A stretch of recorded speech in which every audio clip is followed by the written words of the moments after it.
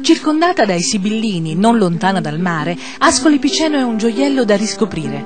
Ultima provincia a sud delle Marche, ha conservato intatto il vero carattere marchigiano. Conosciuta come città del travertino e delle cento torri, ancora oggi mostra con orgoglio monumenti che testimoniano la sua storia e la presenza dell'antica civiltà dei Piceni.